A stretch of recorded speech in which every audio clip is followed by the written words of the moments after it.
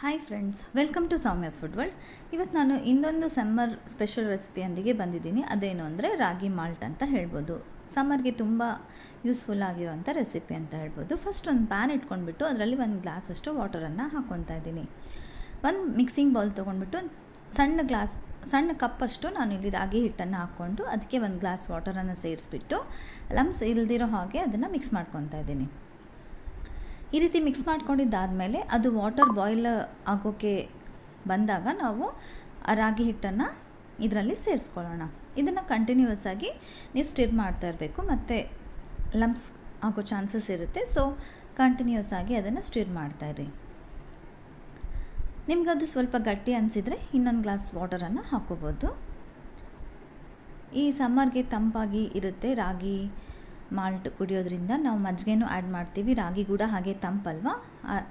So ತುಂಬ useful ಆಗಿರೋವಂಥ recipe ಅಂತ ಹೇಳ್ಬೋದು ಸಮ್ಮರ್ಗೆ. ನೋಡಿ ಈ ರೀತಿ ಗಟ್ಟಿಯಾಗಿದೆ. ನಾವು ಇನ್ನೊಂದು ಸ್ವಲ್ಪ ಒಂದು ಗ್ಲಾಸ್ ಅಷ್ಟು ನೀರು ಹಾಕ್ಕೊತಾ ಇದ್ದೀನಿ. ಅದನ್ನು ಈ ರೀತಿ ಕಂಟಿನ್ಯೂಸ್ ಆಗಿ ಸ್ಟಿರ್ ಮಾಡ್ತಾಯಿರಿ ಅದು ಸ್ವಲ್ಪ ಗ್ಲಾಸಿ ಸ್ಟ್ರಕ್ಚರ್ ಬರಲಿ, ಅಲ್ಲಿವರೆಗೂ ನಾವು ಇದನ್ನು ಬೇಯಿಸ್ಕೋಬೇಕಾಗುತ್ತೆ.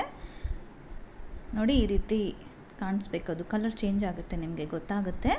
ಅದು ಹಸಿ ವಾಸನೆ ಎಲ್ಲ ಹೋಗಿಬಿಟ್ಟು ಈ ರೀತಿ ಗ್ಲಾಸಿ ಸ್ಟ್ರಕ್ಚರ್ ಬರೋವರೆಗೂ ನಾವು ಅದನ್ನು ಸ್ಟಿರ್ ಮಾಡ್ತಾ ಇರಬೇಕು. ಅದಾದಮೇಲೆ ಅದನ್ನು ಕಂಪ್ಲೀಟಾಗಿ ಕೂಲ್ ಆಗೋಕ್ಕೆ ಬಿಟ್ಬಿಡೋಣ. ನೋಡಿ ಇವಾಗ ಕೂಲ್ ಆಗಿದೆ ಅದು. ಕೂಲ್ ಆಗಿದೆ ಅಲ್ಲ? ಅದನ್ನು ಈ ರೀತಿ ಚೆನ್ನಾಗಿ ಒಂದು ಸತಿ ಮಿಕ್ಸ್ ಮಾಡಿಕೊಂಡು ಅದರಲ್ಲಿ ಬಟರ್ ಮಿಲ್ಕನ್ನು ಆ್ಯಡ್ ಮಾಡ್ಕೊತಾ ಇದ್ದೀನಿ. ನಿಮಗೆ ಎಷ್ಟು ಕ್ವಾಂಟಿಟಿ ಬೇಕೋ ಅಷ್ಟು ಬಟರ್ ಮಿಲ್ಕನ್ನು ಆ್ಯಡ್ ಮಾಡ್ಕೋಬೋದು. ಈ ಬಟರ್ ಮಿಲ್ಕ್ ಹಾಕ್ಕೊಂಡ್ಮೇಲೆ ಚೆನ್ನಾಗಿ ಮಿಕ್ಸ್ ಮಾಡ್ಕೊಳ್ಳಿ. ಅದು ಸ್ವಲ್ಪ ನಿಮಗೆ ಲಮ್ಸ್ ಥರ ಕಾಣಿಸಿದ್ರೆ ಮಜ್ಜಿಗೆ ಮಾಡ್ತೀವಲ್ಲ, ಅದರಿಂದ ಆದರೂ ನೀವು ಮಾಡ್ಕೋಬೋದು. ಕಡ್ಗೋಲ್ ಅಂತ ಏನು ಹೇಳ್ತೀವಲ್ಲ, ಅದರಿಂದ ನೀವು ಸ್ಟಿರ್ ಮಾಡ್ಕೋಬೋದು ಅಥವಾ ಇದೇ ರೀತಿಯಾಗಿ ಮಿಕ್ಸ್ ಮಾಡಿಕೊಂಡ್ರು ಕೂಡ ಚೆನ್ನಾಗಿ ಮಿಕ್ಸ್ ಆಗುತ್ತೆ. ನೀವು ಇದನ್ನು ಟೂ ಟೈಪ್ಸ್ ಆಗಿ ಸರ್ವ್ ಮಾಡ್ಬೋದು. ಹೇಗಂದರೆ, ಈ ಮಜ್ಜಿಗೆ ಹಾಕಿರೋದ್ರಲ್ಲಿ ರುಚಿಗೆ ಎಷ್ಟು ಬೇಕೋ ಅಷ್ಟು ಉಪ್ಪನ್ನು ಹಾಕಿಬಿಟ್ಟು ಇನ್ನೊಂದು ಸ್ವಲ್ಪ ಲಿಕ್ವಿಡ್ ಫಾರ್ಮಲ್ಲಿ ಮಾಡಿಕೊಂಡು ಇದನ್ನು ರಾಗಿ ಮಾಲ್ ಥರ ಕುಡಿಬೋದು. ಅಂದರೆ ಬರೀ ಸಾಲ್ಟನ್ನು ಆ್ಯಡ್ ಮಾಡಿಬಿಟ್ಟು ಇನ್ನೊಂದು ಸ್ವಲ್ಪ ಲಿಕ್ವಿಡ್ ಫಾರ್ಮ್ ಆಗಿ ಮಾಡಿಕೊಂಡು ನೀವು ಇದೇ ರೀತಿ ಸರ್ವ್ ಮಾಡ್ಬೋದು.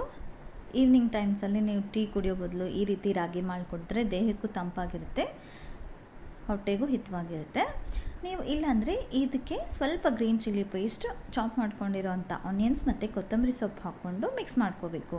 ಇದು ಸ್ವಲ್ಪ ಗಟ್ಟಿಯಾಗಿ ಮಾಡ್ಕೊಳ್ಳಿ. ನಿಮಗೆ ಕುಡಿಯೋಕ್ಕೆ ಬಂದು ಬೇಕು ಅಂದರೆ ಆ ರೀತಿ ಕೂಡ ಮಾಡ್ಕೋಬೋದು. ಸ್ವಲ್ಪ ಇದು ಇದು ಅಂಬ್ಲಿ ಥರ ಮಾಡ್ಕೊತೀವಲ್ಲ, ನಾವು ಸ್ಪೂನಿಂದ ತೊಗೊಳ್ಳೋ ಥರ ಆ ರೀತಿ ಆದರೂ ಮಾಡಿಕೊಂಡು ಸರ್ವ್ ಮಾಡ್ಬೋದು. ಎರಡು ರೀತಿ ಕೂಡ ಸರ್ವ್ ಮಾಡ್ಬೋದು. ನಿಮ್ಗೆ ಯಾವುದು ಇಷ್ಟ ಆದರೆ ಆ ರೀತಿ ಮಾಡ್ಕೊಳ್ಳಿ. ನಿಮ್ಗೆಲ್ಲರಿಗೂ ಇಷ್ಟ ಆಗಿದೆ ಅಂದ್ಕೊಂಡಿದ್ದೀನಿ thanks for watching my video friends bye